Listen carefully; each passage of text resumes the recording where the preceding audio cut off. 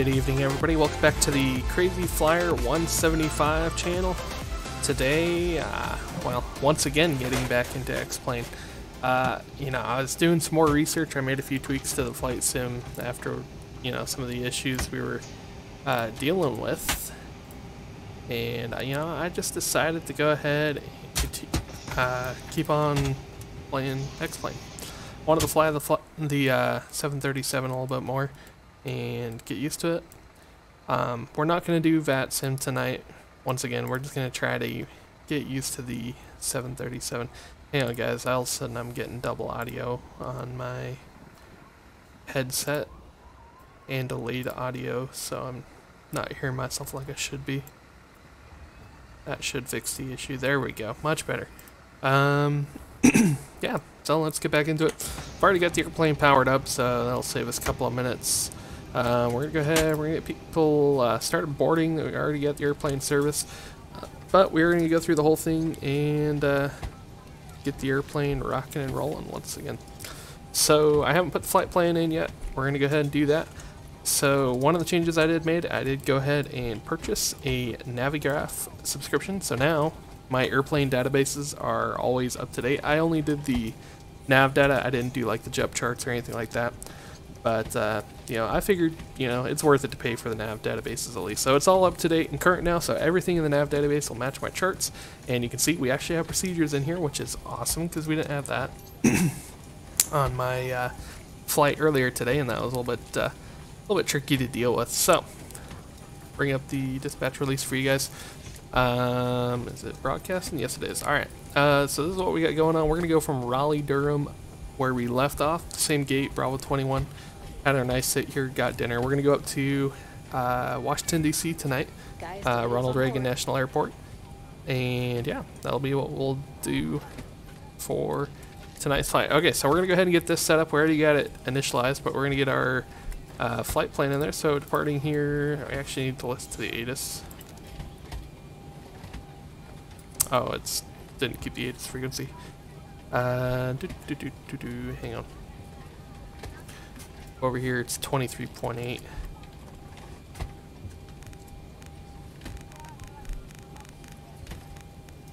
Twenty-three point eight. Raleigh Durham INTL information Lima. 2100 Zulu weather. Wind 210 at 8. Visibility more than 10. Meter. Sky conditions 3800 scattered. 25,000 broken. Temperature 30. Dew point 21. Altimeter 2998. Arriving runways 23 right, 23 left. Alright, so we'll be off runway 23 right tonight. Departing runways 23 right, 23 left, 14. Advise on initial contact you have Lima. Alright, 23 right is going to be our runway. Uh, for departure. Alright, so we got 23 right and go back over to the release. So we're going to be on the Bexco for departure to the BLAUC transition. We'll insert that. And now the arrival is going to be the CAPS 3 uh, waves transition. We don't know our runway for sure quite yet. So that should have everything in there. And so we're literally going from BLAUC direct to waves. So we're just going to bring waves up there. That deletes that discontinuity and now we'll just verify. We'll look at the map view. That was so much easier than the way I had to do it earlier today. I had to put in every point manually all the way. But you can see there we've got our flight plan flows real nicely from the departure right into the arrival. Uh, it's still a relatively short flight so that makes life easy. That's all in there. I love how easy that was. Alright now we're gonna look at weights. So we got our weights up here and let's hop on over to the tablet to weight balance fuel section. So first of all, fuel. 13.9 uh, is min block. Um, I like to have a thousand pounds above min takeoff when we depart the gate. So we're gonna load up uh, to 14.4 for our fuel today.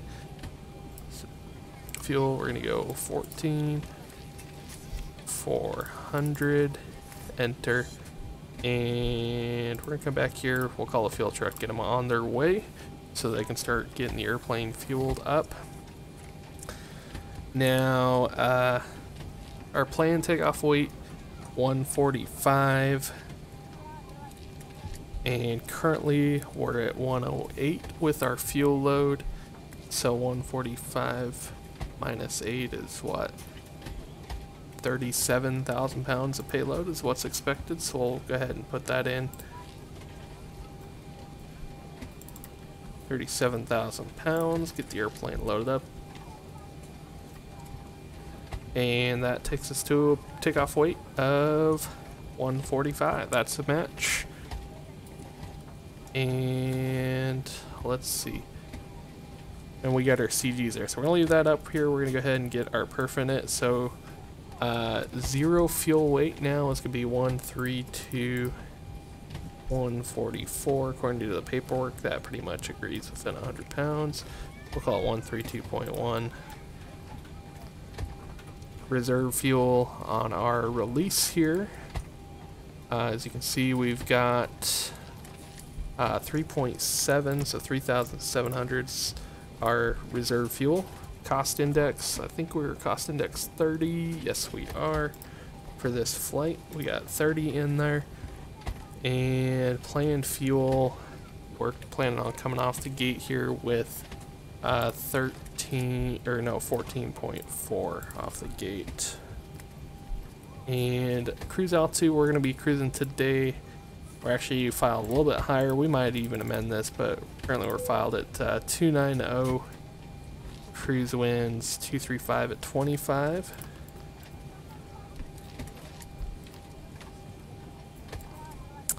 Uh, didn't give us a nice deviation on the flight plan. And Let's see, so we'll execute that. We're using reserve fuel, that's just because we haven't been fueled up all the way yet. We'll ignore that for now. We're to do a takeoff one. 96.6, 96.6, looks good. Takeoff, we're going to do flaps 5. We got a nice long runway here out of Raleigh Durham.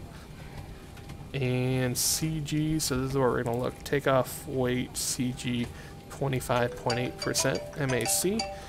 Uh, hang on for just a second, guys. I'm gonna mute myself. Got a quick phone call I gotta answer.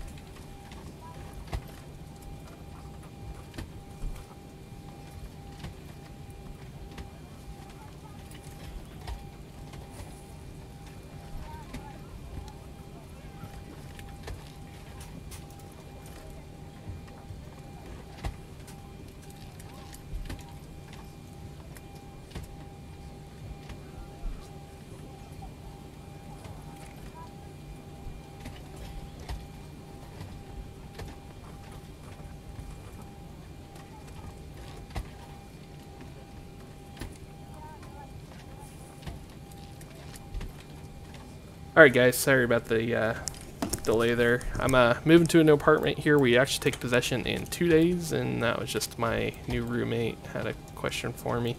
Uh, I've got a friend that uh, we're going in on a really nice two-bedroom apartment together. But uh, anyways, besides the point, that's all done. Okay, so we got CG in there. You guys saw that uh, that did give us a trim number, 5 degrees.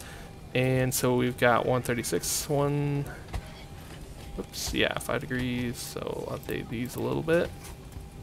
138, 139, 142, and 5 degrees on the trim wheel is set. I think we have got that all ready to go. Pastors should be done loading here pretty quick. We're going to go ahead and get the APU started.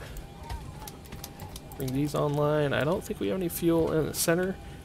Uh, it does not look like we do. So we'll leave these uh, center pumps off. APU's on its way up. And uh, let's see here. We're to bring the hydraulics online. Bring yaw damper on now. Uh, let's see, so flight altitude is going to be 290 and DC is pretty much sea level, so we'll set 50 feet. It's doing a quick flow across the panel, make sure everything is set up as it should be. That's normal, okay. Probe heats are on. Those will go away after we get everything buttoned up and the engine started. Uh, we've got that. APU is up. We're entering APU generator online. Ground power is disconnected. APU bleed and packs. Come on, we got the air conditioning on the airplane now. Excellent. Alright guys, well, I think we're going to be ready. Uh, I did set our time of departure I want to say we had it set for uh, like 6.30. We're going to be plenty early though. Do need to set up the mode control panel here. Oh yeah, so let's go ahead and brief our departure. So we have got the, um, what are we on? The Bexco departure, that's right. Alright, let me get the flight plan in here real quick. So K, Raleigh Durham. UKDCA. And actually, why don't we go ahead, we'll actually just put the flight plan in here. So we're doing the Bexco departure to Boussy. I think I called it Blousy before. And then we're doing waves to the CAPS 3 arrival into DC. So there's our route of flight right there. Um, let's go here to Raleigh-Durham Airport page procedures and we're going to brief up the Bexco departure. And I think about the time we get that done, everybody should be loaded up and uh, we'll be out of here. Alright, so the Bexco departure here out of Raleigh Durham, be off 2, 3, right, climb on assigned heading, we'll plan runway heading, which is uh, be about 230. Back, let's go here, let's pull up the airport diagram. Procedures, diagram, and runway heading is going to be 234. Top altitude on our departure is going to be 6,000 feet, or otherwise assigned. We'll plan 6,000, that's in there. Flight directors come on both sides. Cool. Um, yeah, so that one's a pretty simple one, just tower assigned 8,000 radar vectors to Amy at or above 2,500 feet, which uh, Amy 2,500 feet and above is in the box, so that should work nicely. Bring that back to the map page. Um, so yeah, taxi out should be pretty simple. We'll expect to basically just go Foxtrot and uh, Bravo 9 for runway 23 right out of Raleigh-Durham.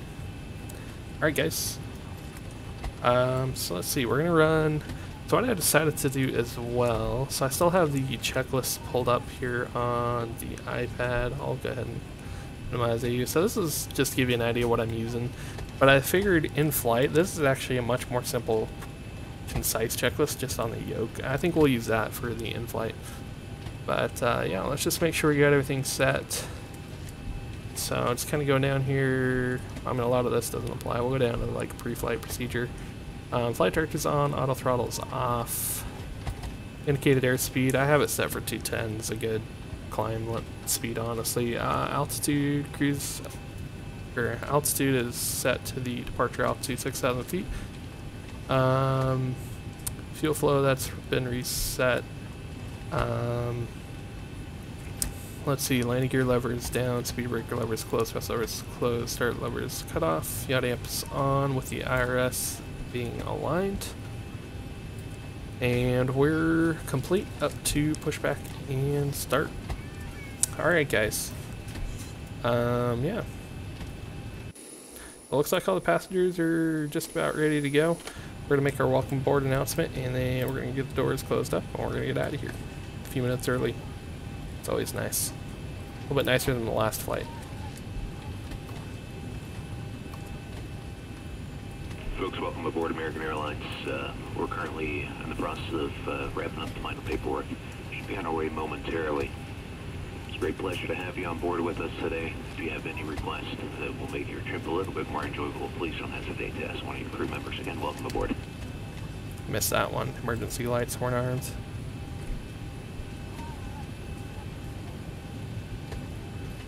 Alright.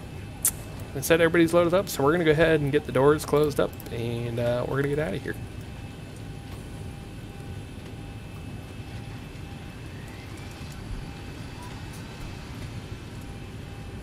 Alright, so we've got everything disconnected from the airplane. Chocks are released. out of that to turn on? Oh, okay. The controls, I swear, are like completely um, backwards of what I would think they would be.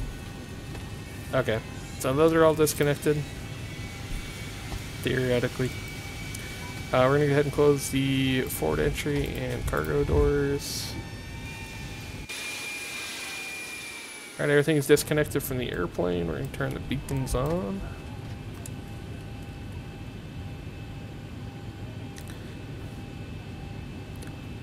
Alright. Ladies and the boarding door is now closed. Flight attendants prepare doors for departure. Cross check, verify straps, stand by for all call.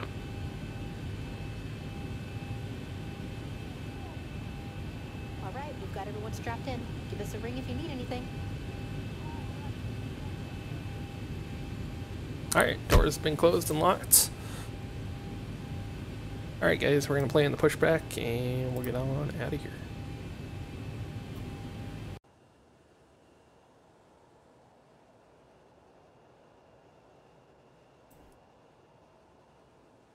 Ground to cockpit, plan acknowledged. Call me through the menu when you are ready. Ground to cockpit, tow is driving up. Alright guys, we got tow on the way. One quick double check, flow here. Thing is normal. electronic devices, laptop computers, turned off and stowed.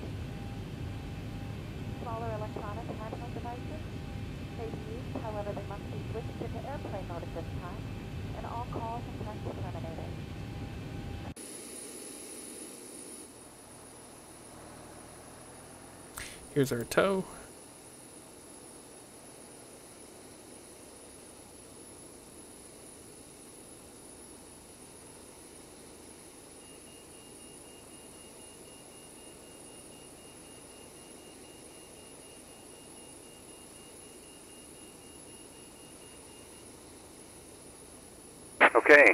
all doors and hatches are closed, ready to connect.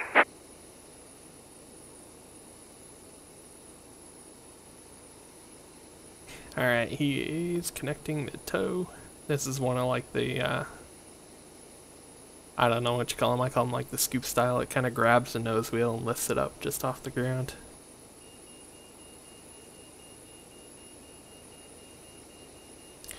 Alright.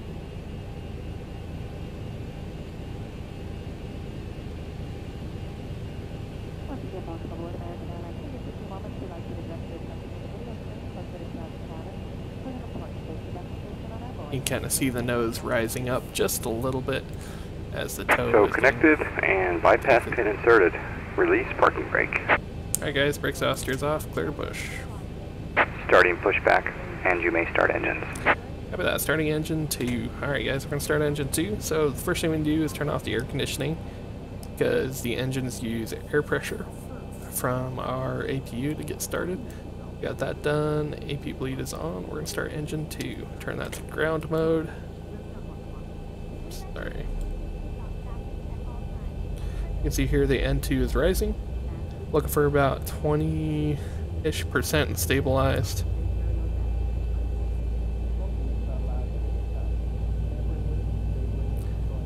There we go, 22% and the fuel selector comes on. We've got light off on the EGTs, N2 rise, N1 rise.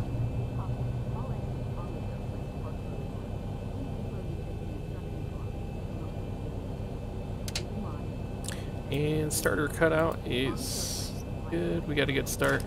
We'll bring the right hand generator online. I think we'll go out on one engine. We'll see here. We'll bring the packs back on for a minute. So people are getting their air conditioning down here in Raleigh.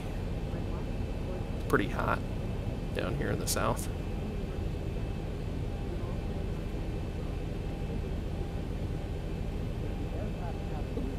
Reset my track IR. There we go. Operation complete. Set parking brake. Alright, sir. Parking brake set. Clear distance. Disconnecting tow. Stand by. Roger.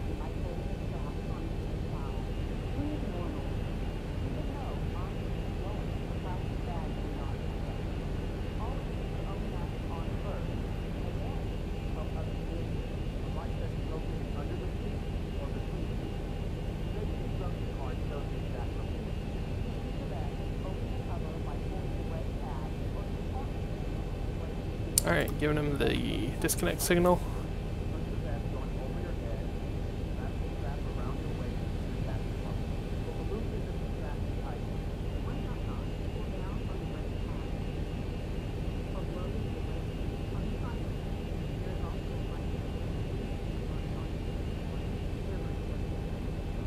Tow is disconnected and bypass pin has been removed. Hand signal will be on the right. We'll see you next time and have a great flight. See you guys. Alright. Looking for the tow off the right hand side here. There it is. We got the wave off. Alright.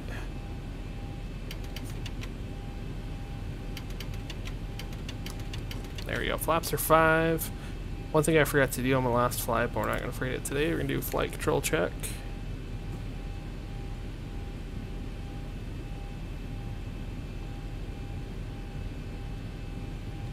Electrols are good. Alright, and we got the wave off. So we'll jump back in here. I'm going to see what this checklist has. Now once we complete this after, or engine start checklist, which really it's done. We've already got everything, well, we haven't completed it yet because we still got to start the other engine. Uh, one thing I did forget to do is arm the auto throttle under the uh, engine start there. Hydraulics are on, fuel pumps are on, anti-collision lights are on, position lights are on steady, auto throttle's armed, engine ignition, well let's see, we've already got one start complete, we're going to do the other one, so We got flap set, lights as required, and that is complete. So we'll reference back to that just to make sure we got everything done for the engine to start, but that's more of a flow than a checklist if I'm honest. Alright, we got brakes released, clear right, clear left. We got the taxi clearance, so we're going to taxi via Foxtrot Bravo 9, I think it was, to runway 23 right.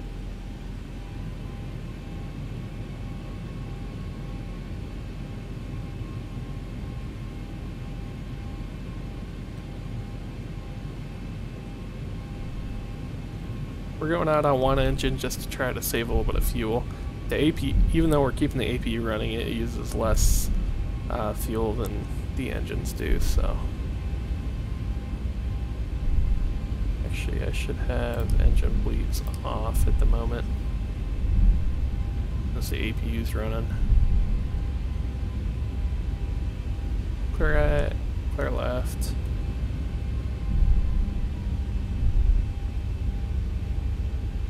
Well, it looks like we're going to be number one for the runway, so we'll go ahead and turn packs off. And we'll start engine one.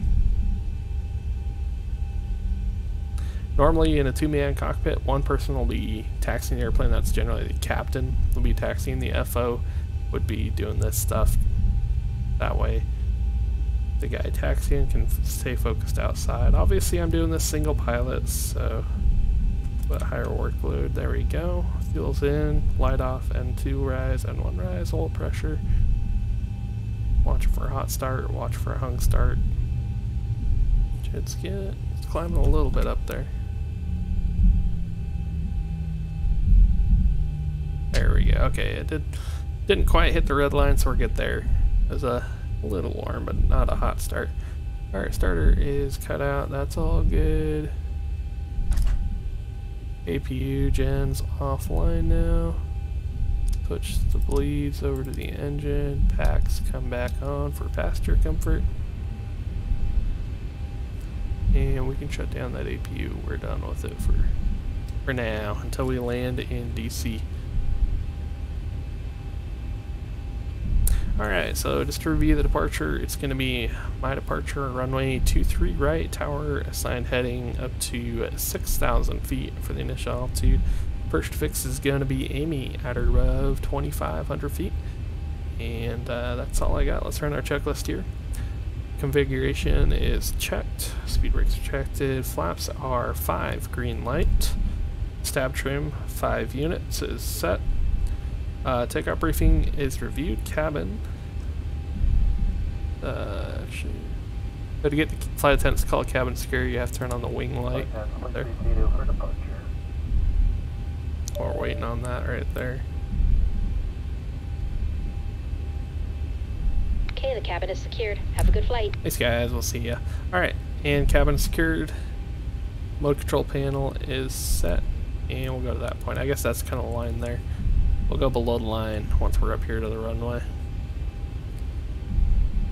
Getting a little more comfortable now, getting back in the 7.3. I think I could, uh, maybe after this flight, I think I'll be comfortable enough to jump into uh, VATSIM with the airplane and not be a complete idiot. I think I know somewhat of what I'm doing, hopefully.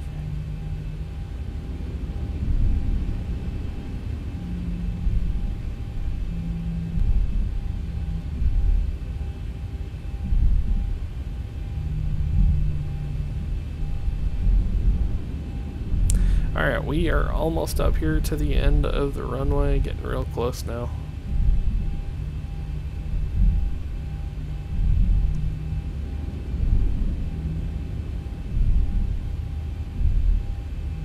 This next uh, left turn, actually this left turn right here is Bravo 9.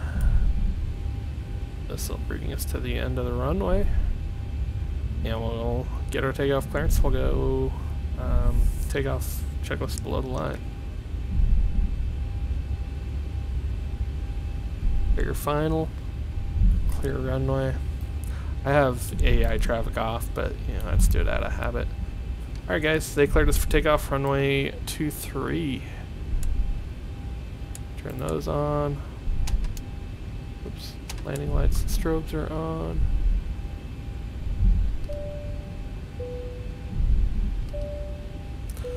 Alright. Lieutenants are notified. Alright, and transponder TA/RA. And 2000 was the code we were assigned for the transponder below the line. MCP set, transponder TA/RA. Strobe lights are on, landing lights are on. Four takeoff checklist is complete. Alright guys, runway 23 is correct runway. We are lined up here almost. Get the engine spooled. Y'all ready for takeoff? Ready or not, here we go. TOGA.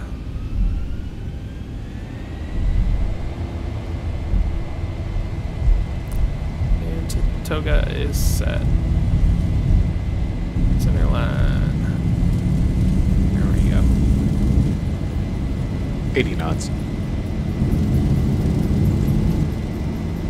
Bit tail heavy.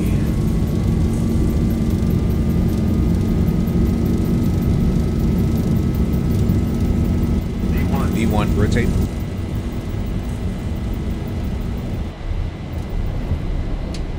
Positive rate. Gear up.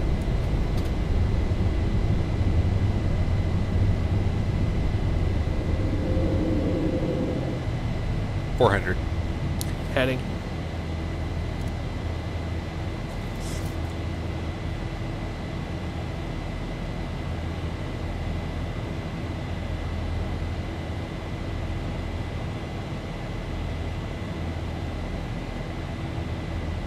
One thousand.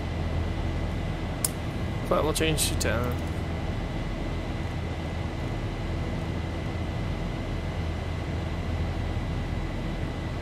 Let's go flaps one.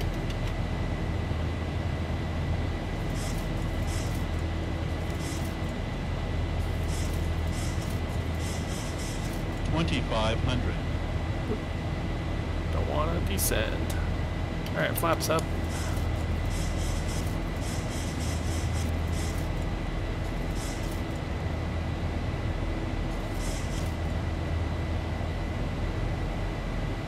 Autopilot on go VNav.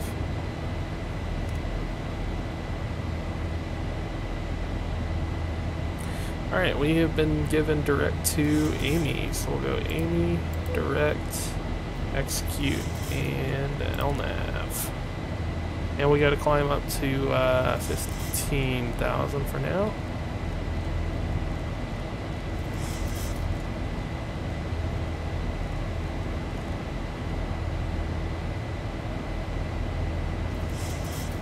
Clouds we go. Oh, maybe. We're just kind of skimming the bases. Flying here.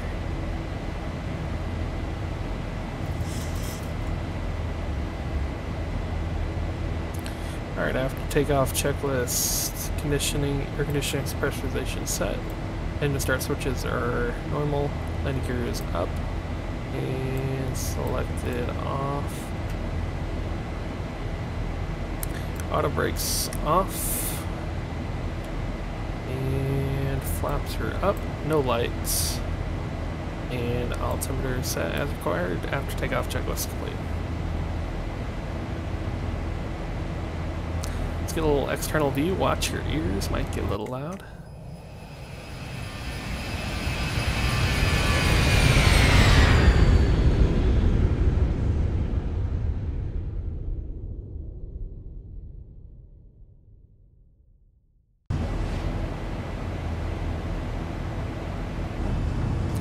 Passenger cabin view. I did change back to the regular winglets uh, for this view to be a little more accurate with the American Airlines.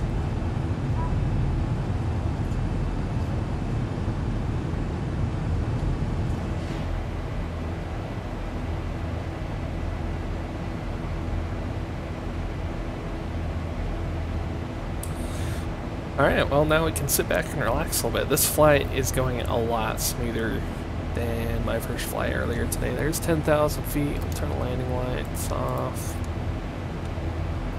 Taxi lights, and then we can turn off the logo, wing, and wheel well. They'll stay as they are.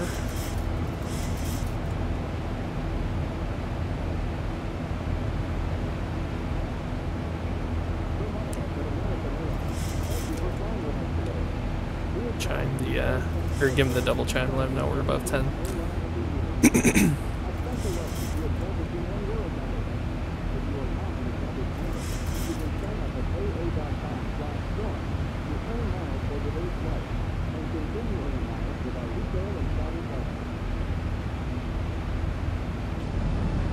Our AAdvantage Aviator MasterCard is another great way to earn miles for everyday purchases and enjoy benefits, such as your first check bag free preferred boarding, and no foreign transaction fees. Not an Aviator card member? See a flight attendant and receive an exclusive offer when you apply in-flight today. Shortly, we will begin our in-flight service. We offer a selection of complimentary beverages, Wi-Fi service,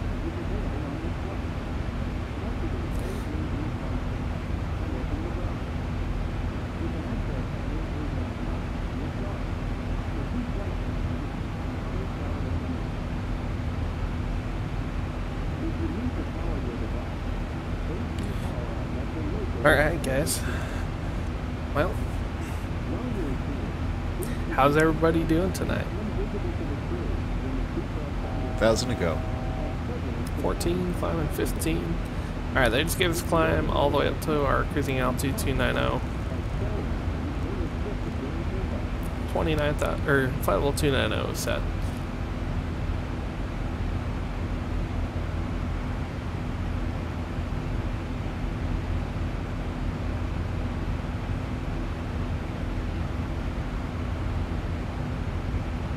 It's kind of weird, it looks like the airplane is just slightly out of trim laterally. We don't fuel imbalance, do we?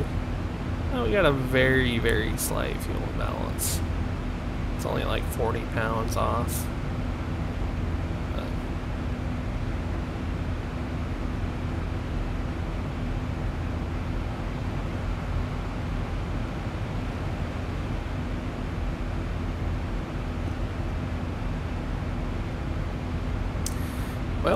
Well, let's take a look and see what uh, Reagan National is looking like tonight.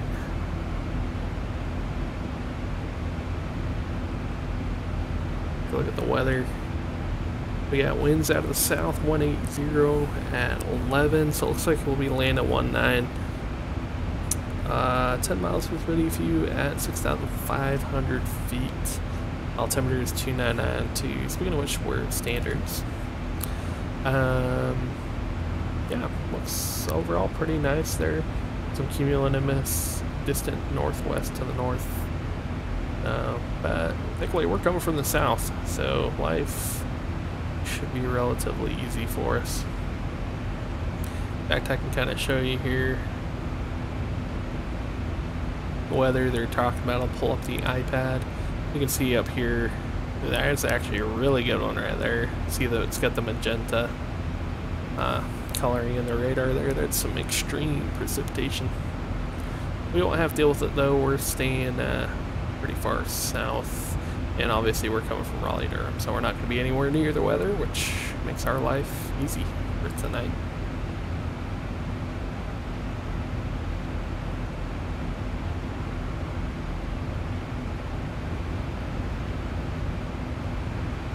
Actually turned into kind of a nice evening here. I'm going to go to the outside view, watch your ears.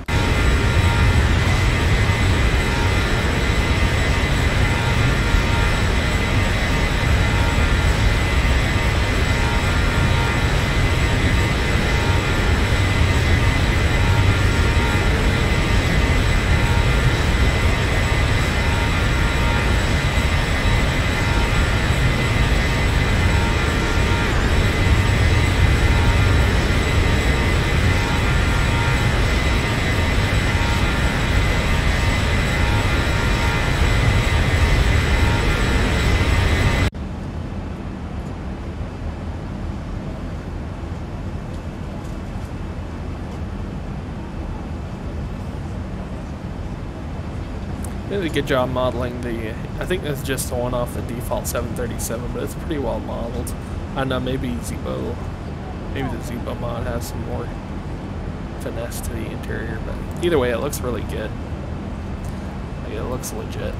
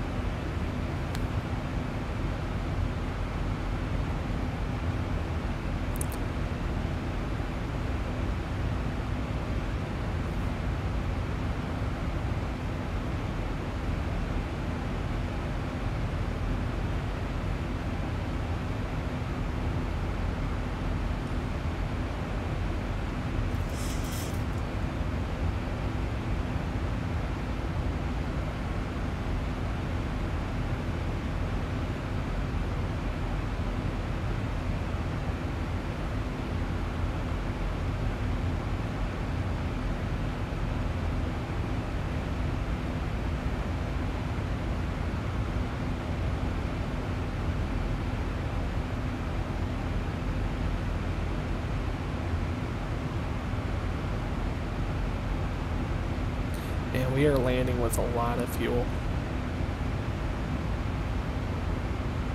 We're gonna have like 10,000 pounds. I don't know, maybe that's not a lot. I mean, I'm used to flying a little bit of a smaller jet, so you know, we're typically the airplane I fly typically land with around anywhere from 3,500 to maybe 4,500 pounds is pretty common of uh, fuel on board. You know, and that's still, you know, 4,500 pounds. We could go for an hour and a half on that if we needed to. Quite a bit of fuel. Sometimes even more, you know, if, if we have like really bad weather, so we've got an alternate filed, and, you know, maybe there's weather's bad enough they give us some contingency or hold fuel. Uh, you know, we can sometimes land with a lot of fuel, but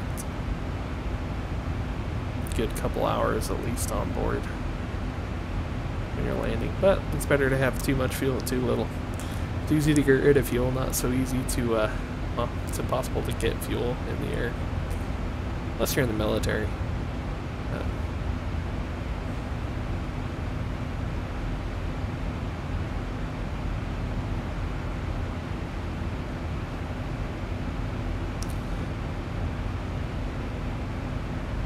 peek around uh, Twitch real quick and see who's online tonight.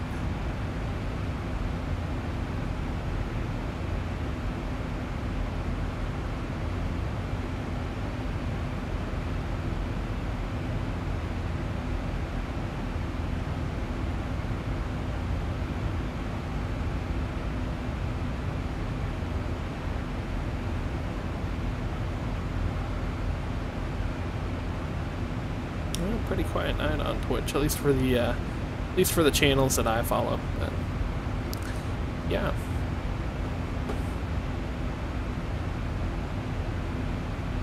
Little more walk through the cabin. Explore the inside of the 737 a little bit. I need to see if there's a mod out there to move around quicker. I mean, this is just kind of the default method to move around uh, within the cabin, but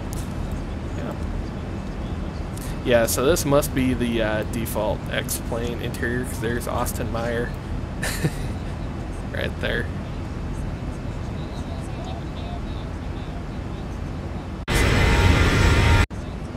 Apparently if you go up a little too high in the cabin, uh, you get a loud noise. Sorry about that, guys. Oh, that is obnoxious.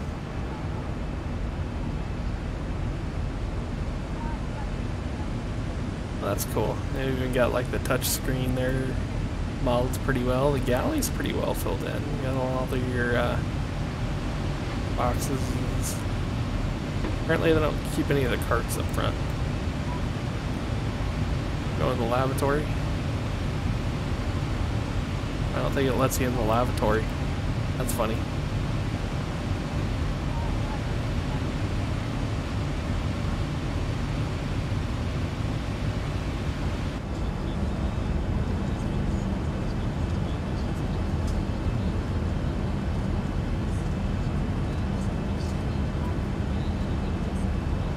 pretty cool shot. Alright, well, let's see. How much longer do we have until DCA? It's not a very long flight. In fact, we're only like 20 minutes out from this point. You can see our top of descents here real shortly. We'll go ahead turn the seatbelt sign off for a few minutes for the passengers, give them an opportunity to uh, walk around a little bit.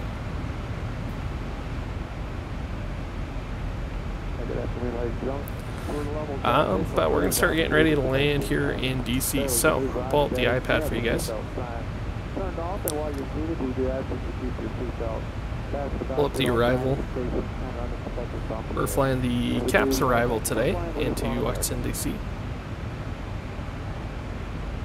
There it is, CAPS 3 RNAV arrival. We are picking it up. Oh, it is vertical. Uh, we're picking it up from Waves, so we got Waves between 21 22 at 210. But we're going to pretend that ATC just give us a send via. So we're landing to the south today. So we're going to be going, it looks like, up here to the BAM intersection. Is our bottom altitude 6,000 feet. We'll set 6,000 feet in the altitude selector window. And the airplane should make all our restrictions. So what we're going to do, we're just going to go through here real quick with the FMS. We'll cross compare to our chart. So we have waves 21 to 22 at 280, K set 17 uh, uh, about 17. It's already starting the descent. Or no, it's just slowing back for cruise, I guess. Uh, ELAP 280 between 14 and 20, that's in there. Bully uh, 16 to 13, Caps 10 to 13. Uh, then we'll be going to Phillips. Oh, we didn't put the arrival in there. Yeah, that's right. So I'm going to anticipate we're going to get runway 19, probably the river visual. We'll back it up with the RNAV approach. Uh, we'll turn on the glide path. Uh, it's caps 3, waves transition, RNAV 19. Look up there and make sure it's in there. Yep, there we go. So yeah, caps 1310, then we got Derek.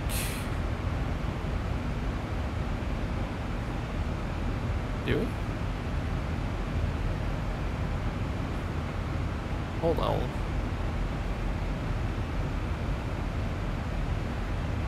I put the wrong one in there, did I?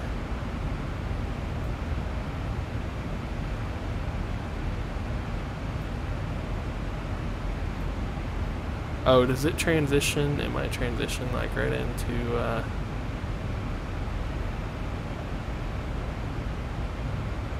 And I gotta pull up the RNAV one then. I'm a bit confuzzled here. Procedures, RNAV approach. Let's zoom out a little bit for you guys here while we're figuring this out. Uh, RNAV 19 approach.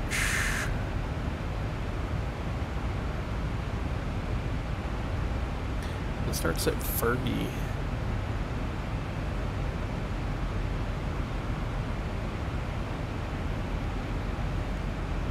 What runway did I put in there? Arrival, arrival.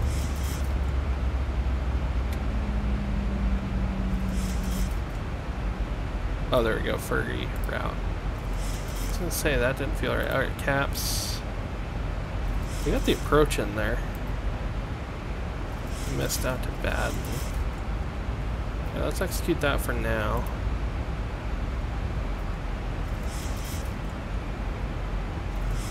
It's only got my arrival going down to uh, caps.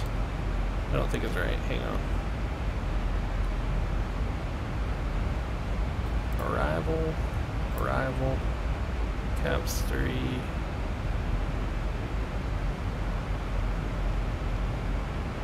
Wave. Uh, path on, route, legs. There we go. And then now we've got Phillips. Yeah, alright, that's all lining up now. Phillips, Mojo, Giles, Smoot, Bam for the bottom at 6,000. All these speeds and altitudes are matching. And then Packy, and then Vector for Fergie Grays. Yeah, alright, I like that. We're going to execute that now. We're still going direct to waves, it looks like. Now it's all agreeing. Cool, guys. I finally got it figured out. Alright, so the approach is going to be the RNAV approach runway 09. Actually, it'll be the river visual. We're going to back it up with the RNAV for tonight. Uh, let's get the river visual plate pulled up.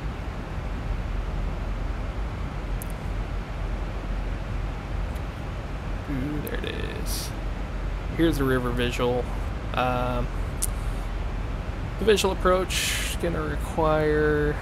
It's a little bit different than the jet plates I'm used to briefing here. Requires uh, 3,500, 3 miles visibility. We've got that.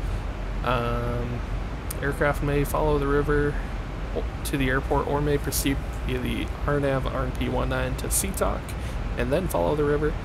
Note the clearance for the visual approach does not authorize penetration of P-56, so we got the prohibited area there around the Capitol and White House and all that. So you can see here the approach course.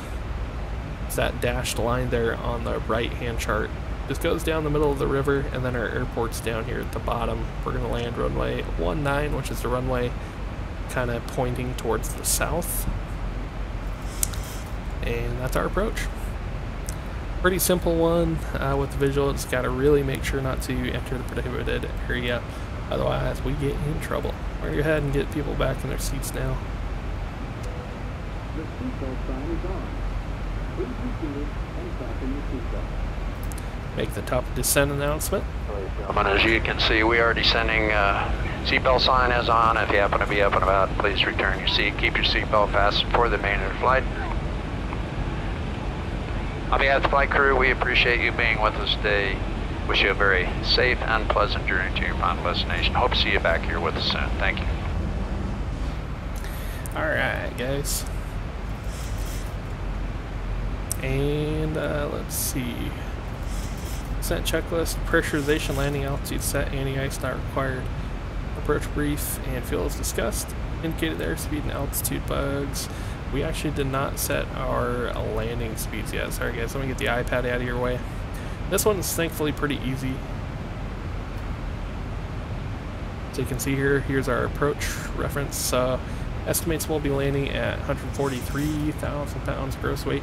Now it's kind of a short runway. It's not extremely short, but it's a little short, 7,000 feet. Out of abundance of caution, I'm going to say let's go with the flaps 40 landing That gives us a little lower approach speed, use a little less runway. We'll put that in there, 141. And wind correction plus 5, I'd say is good. And yeah. So that is now bugged and set. Uh, we'll do an auto brake 3 landing. Better be hit the brakes a little too hard than not hard enough at this airport. I don't know if y'all remember, a few weeks ago there was, a, I think a Frontier Airlines A320 ran off the end of the runway. Didn't do any damage, nobody got hurt or anything, but, you know, it can happen. You definitely want to, you know, with these slightly shorter runways, you don't want to float and you don't want to wait too long to get on the brakes. You want to get on the brakes as soon as you can after you, you know, get the weight down on the wheels on landing. Alright guys, I'm going to take just a real quick break. Grab just a quick drink of water. I'll be right back. Right back with you on our approach into DC.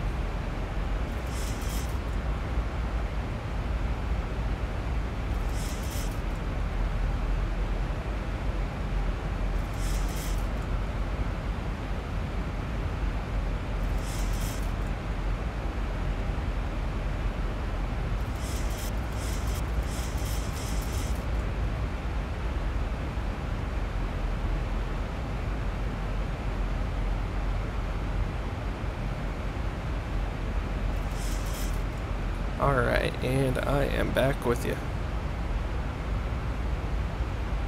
Let's get a little flyby.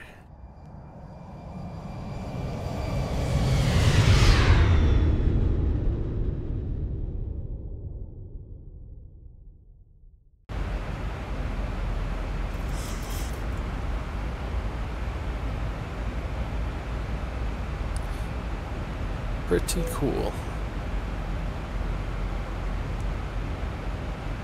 Required. Yeah, she'll need a little help slowing down, so we're gonna use some speed brake.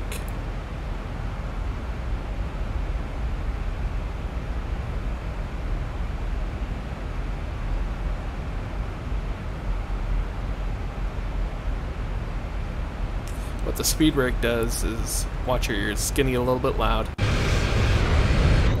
Out on the wings, you can see these little panels right here. They're raised up a little bit. Helps create some drag helps the airplane slow down.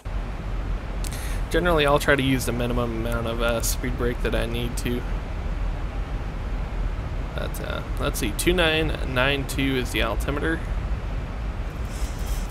And 2992 is now set. We're below 17,000 feet.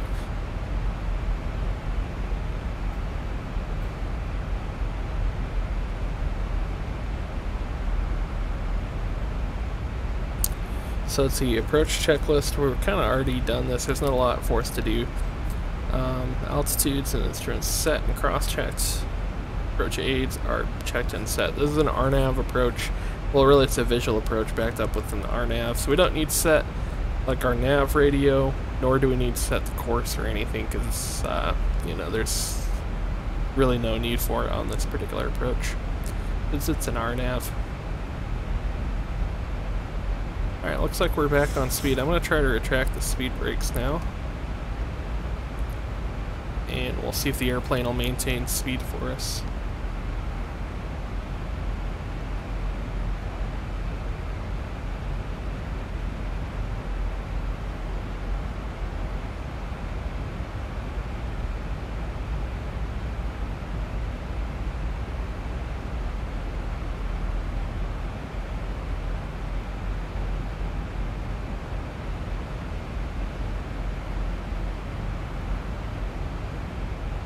Looks like a pretty nice evening out here in uh, Washington, D.C.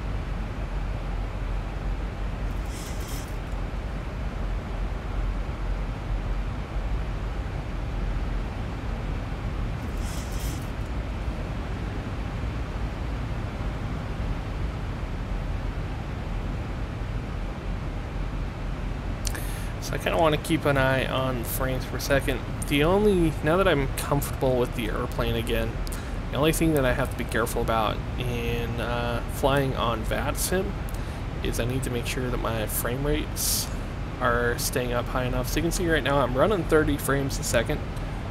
Isn't bad, but I know that the VATSIM will take a few frames away, especially if it's like busy airspace, you know. Uh, you might lose some frames per second. And the thing about VATSIM is if you uh, if you dip below 20 frames a second, supposedly you'll get disconnected. Um, you know, because it can create synchronization issues if you're less than 20 frames per second. So I don't want that to happen to me uh, when I'm flying on uh, on VATSIM. Alright, we're getting pretty close here to 10,000 feet. I'm going to go ahead and do this just a minute early. Get the airplane uh, lit back up.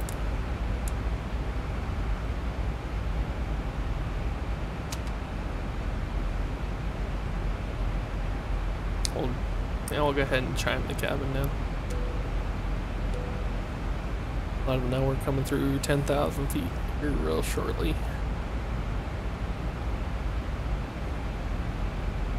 There we're kind of in a little bit of a haze cloud layer. I think it'll clear up as soon as we get through it. Couple more thousand feet here. There the airplane. Oh, I guess it's leveling off for an altitude restriction.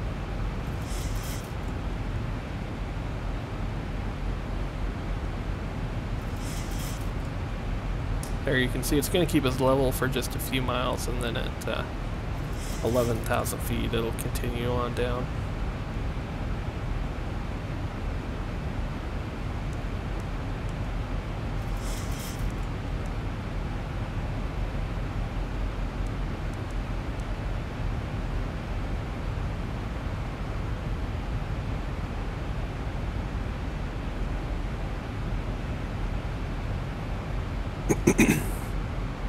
This airplane actually does VNAV very well, I've noticed. Um, you know, compared to like the Embraer Phenom that I was flying last few flying videos, uh, you really have to babysit that airplane and really step it down between fixes. This airplane, you got the procedure in here, and it'll really follow it pretty well. I mean, you just have to monitor it. You know, obviously you saw earlier where it told us it needed drag, so we had to, you know, extend speed brakes. Otherwise, it does really well it's very natural, uh, easy to operate in that regard.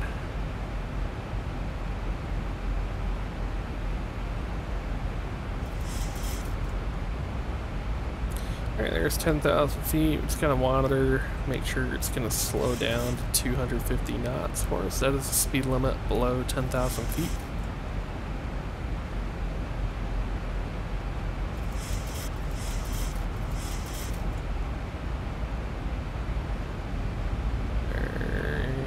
slowing. I don't know what doing right now. Doing a real slow descent. Let's see, we're almost to Mojo. Mojo intersection is supposed to be at 250 knots, so uh, should be slowing. Does it not have Mojo in at 250? It does. There it goes. It brought the speed back. No, it's confused. Here I am telling you how great it is and I can't seem to figure it out.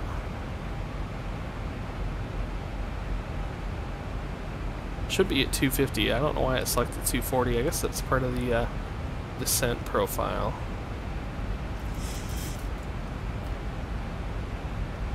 Let's do a 250 slant.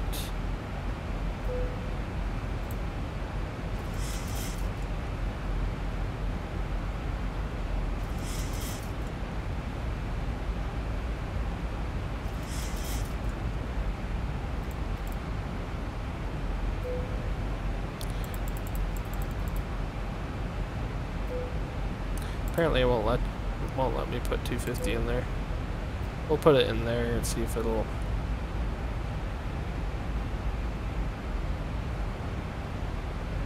Yeah. Very interesting.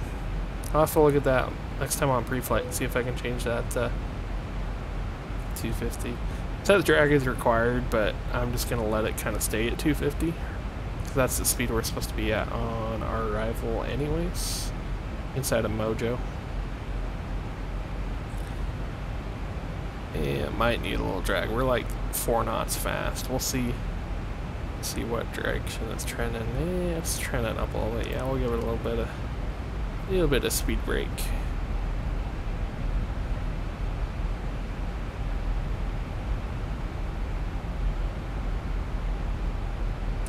Alright, we should be on the ground here in just a couple, I don't know, maybe five minutes here in DC. So this approach is a fun one. So it's going to be hand flown. Um, because we got that prohibited area, we have to be real careful uh, about this approach. Basically, we're going to stay over the river or anywhere to the west of the river. We're safe from the prohibited airspace. If we go east of the river, in real life, you'd have to uh, do a bit of a carpet dance. Probably get called by the Secret Service. At the very least, the FAA would be calling you or you'd be calling them after you land for uh, violation of prohibited airspace. So let's not do that.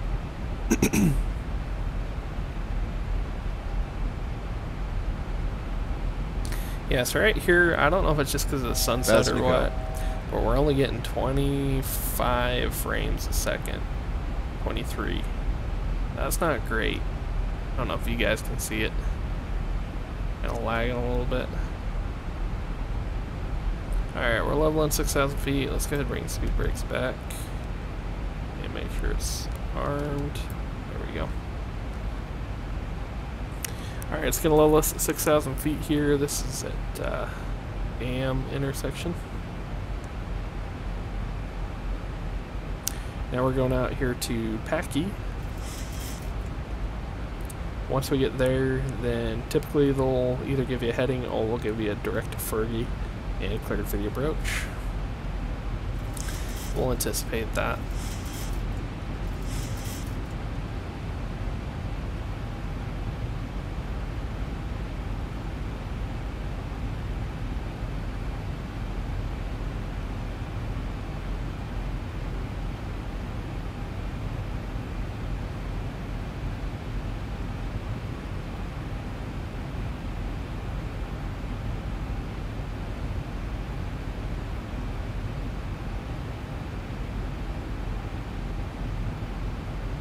Alright, so I went ahead just gave us a descent down to 3,000 feet.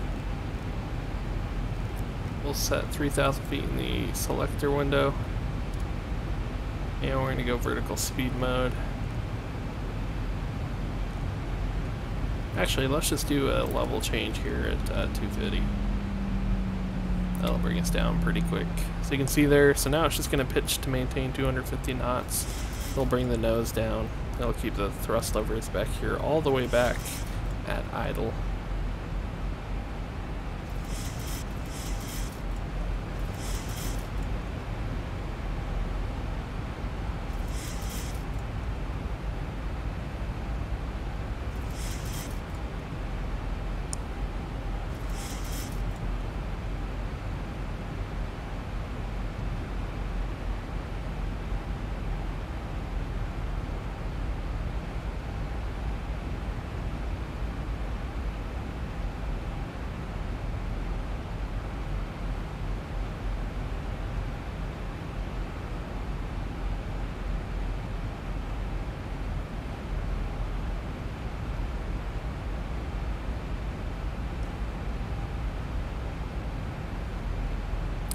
Alright guys, uh, so we just passed packing, they give us direct to Fergie.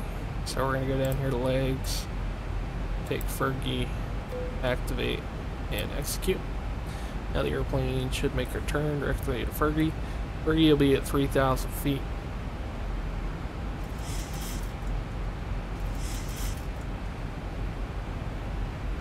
And we're to start getting the airplane slowed up here. Thousand to go.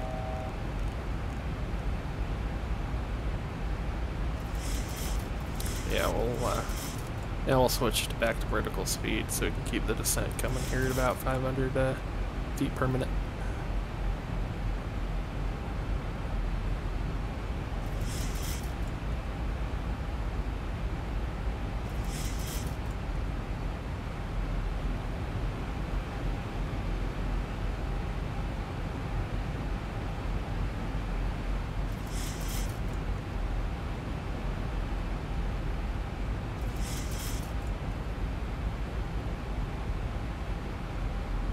Alright, we've been instructed to cross Fergie at above 3000 and we were cleared for the river visual approach.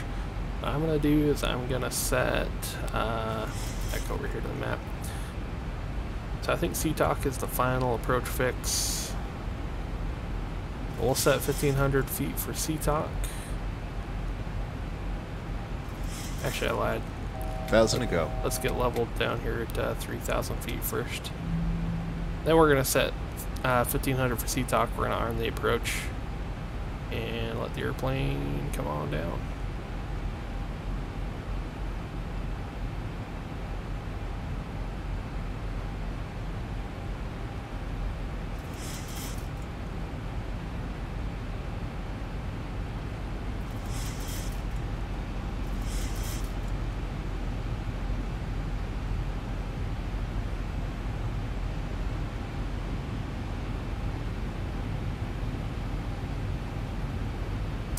Alright, there's 3,000 feet. Arm approach here, see if it'll follow it down. See the path is alive there. We'll see if airplane should intercept and follow it. I hope. Start getting slowed up. Let's go flaps to 5 degrees.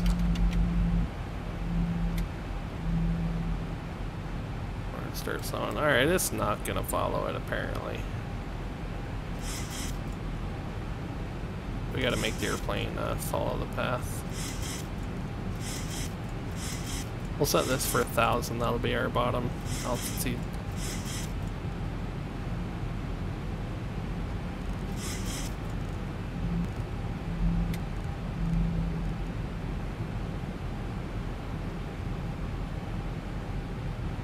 Let's go flaps 10.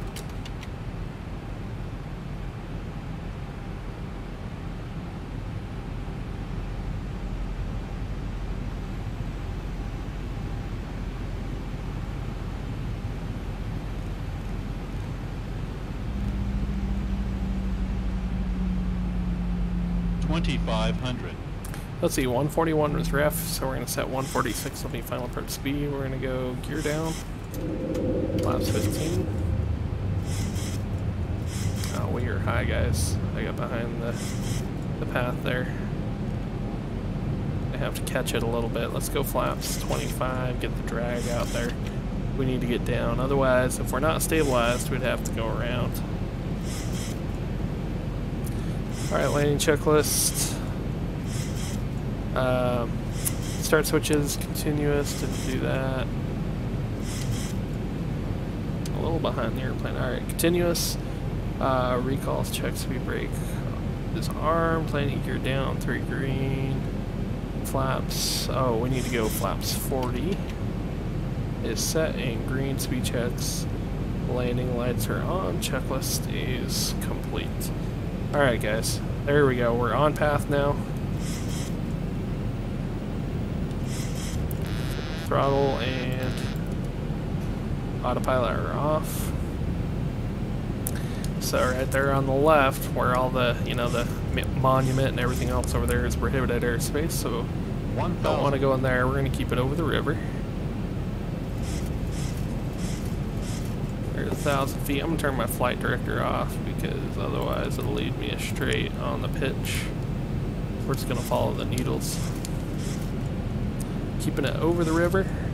1,000 feet, got the airplane configured a little bit low. Correcting it. A little slow. A little bit of power to correct it.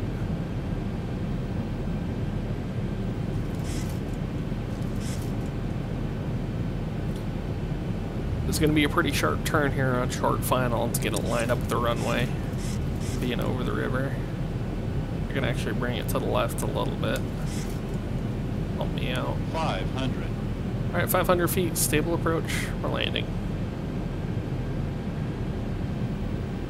Alright, about here over the bridge. Rolling into that turn. Let's try not to have to go around here. Ooh, we're high, overshooting a little bit We're correcting it. Ooh, buddy. 300. That Approaching minimum. Took a lot more to get around the corner than I was anticipating. 200. Get stable. Minimums. 100. 50, 40, 30, 10. Now a little low on the short final.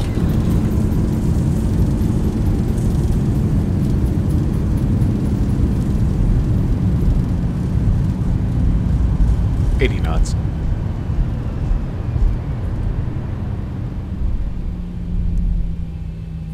Make this taxiway right here. Whew! That was a high workload landing, guys. that took some work. That was fun, though. Alright, flaps up. Trim, or uh, spoilers closed. Landing and strobe lights are off transponder comes back over to altitude on mode. And we're going to be parking over here. When you open the overhead compartment, be careful, as items may have moved in flight. Yeah, that really took some work. I was getting a little behind the airplane there inside of a 10 mile final. But we got it recovered. A Stable approach. I really, I thought I was going to be early on that excuse me, on that final turn. But yeah, that was pretty, uh, that was pretty hectic there for a second. I thought I was going to have to go around, abort the landing, and uh, try again, but we got it recovered, got it stabilized. I was trending a little bit low on the short final there. We actually touched down at like 500 feet, which is legal. 500 feet's like the minimum or the earliest on the runway you can touch down 500 feet past the end of the runway. But yeah, I was just a few feet low. Um, but like I said, this is a runway where I don't really want to wait too long to land the airplane because if you wait too long to land it and you float, then that could, you know, also be a dangerous situation. I think that's the higher risk here at this airport than uh, than landing a little too early. Alright, we're going to be here in this alley off the left. We'll be making a left-hand turn.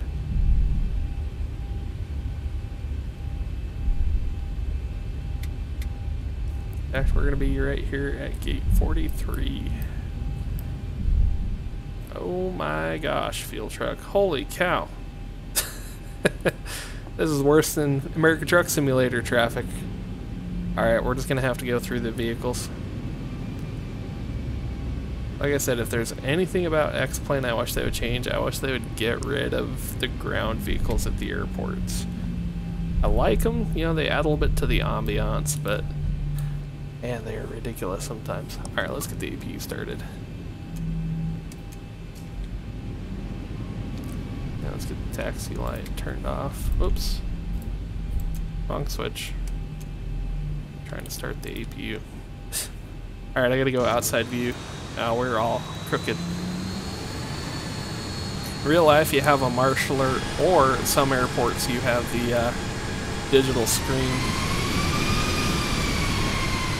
that has like a radar and it helps guide the airplane in. Those are pretty common as well. that'll work. Alright, brake is set. Uh, APU is on its way up as soon as it gets started we can uh, shut down both the engines. We'll shut down two though.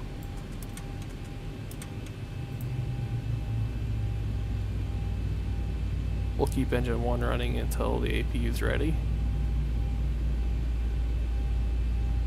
And also release seat seatbelt signs here. There we go, APU's online. Gonna switch the bleeds. And shutting down engine 1.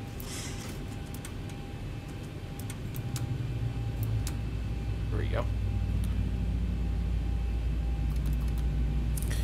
We'll open the door here. And yeah. Welcome to uh, Washington, D.C., everybody. We can turn the uh, collision lights off. Prepare for arrival and cross-check, thank you. Cool. Alright, well, let me know what you thought, guys. That was a pretty fun one. Uh, really enjoyed getting into uh, X-Plane a little bit again. Actually, before we go, let's do this. Let's watch the replay of the landing. That's always kind of fun to do. Alright, watch your ears. It's probably going to be pretty loud. In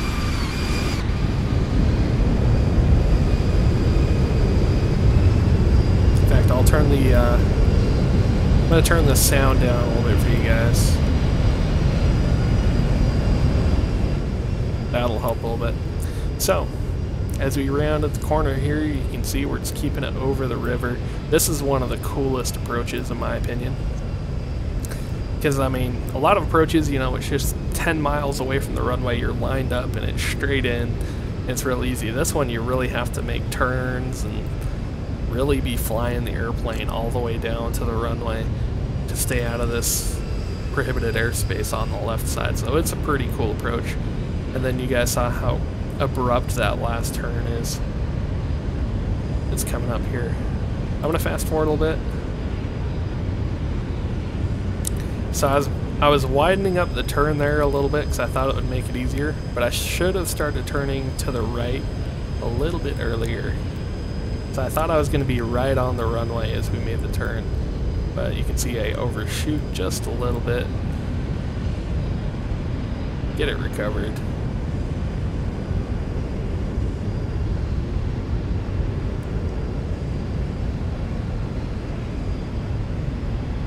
Right about there we got it fully stabilized, which is good.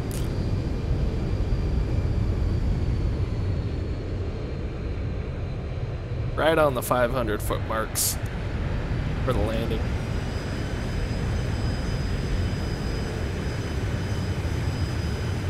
That was pretty fun. From the passenger perspective, I mean, if you've been uh, in the back of an airliner, you know what it's kind of like from the passenger cabin. We'll do a little, uh, hang on. Do a little bit of this view here. So yeah, you're coming down. There's the Pentagon right there. That's cool. Yeah, and you actually see the airport out here out of your passenger window, which is kind of funny. And then you make the turn. So it's just something a little different. In real life, it is super fun to do this approach. Both as a passenger and as the pilot.